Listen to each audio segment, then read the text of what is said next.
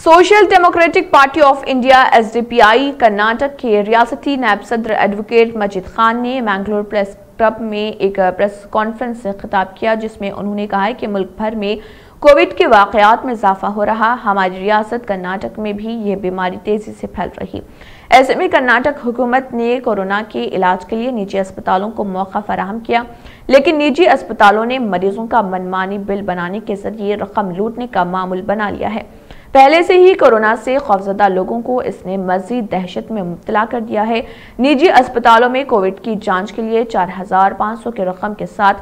डॉक्टरों के लिए पीई किट्स के नाम से मजीद आठ हज़ार की रकम वसूल की जा रही। मरीजों को रोज़ाना का पंद्रह ता बीस हज़ार का महँगा बिल बनाकर कोरोना को तिजारत बनाने की सूरत हाल पैदा हो गई है। बेंगलुरु के अक्सर अस्पतालों में आम बीमारियों का इलाज करने से इनकार करने की रिपोर्टें मौसू हो रही इसकी वजह से लोगों को इमरजेंसी इलाज के बगैर मुश्किल का सामना करना पड़ रहा निजी अस्पतालों की लूटमार के धंधे के मुतालिक और लैब टेस्ट के बारे में शकूक व शुबहात को आवाम ने समाजी वेबसाइट्स में ज़ाहिर किया है। पैर दर्द, जजगी या किसी भी कस्म की छोटी सी बीमारी के इलाज के लिए निजी अस्पतालों का रुख करने पर ज़बरदस्ती कोरोना टेस्ट कराने के साथ ज़्यादातर मरीजों को रिपोर्ट मुस्बित आना इसी तरह मनफी बताकर घर भेजने वालों को बाद में मुस्बित बताकर अस्पताल में एडमिट करने के वाकयात भी सामने आए हैं।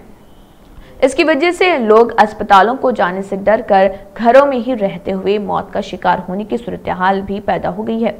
एसडीपीआई के रियासती लीडरान और जुनूबी कर्नाटक ज़िले कमेटी ने प्रेस क्लब में प्रेस कॉन्फ्रेंस में कहा कि कोरोना जैसे मोहलिक वायरस से आवाम खौफजदा हैं और इसका फ़ायदा उठाकर निजी अस्पतालें लूट मार का धंधा कर रही हैं। माशी तौर पर कमज़ोर और गरीब लोगों को इससे मुतासर हो रहे हैं। मेडिकल माफिया को अगर हुकूमत ने रोकने के लिए मुनासिब इकदाम नहीं किया तो इस कस्म के अस्पतालों के खिलाफ एस डी पी आई अवामी एहतजाज करने का इंतबाह करती है।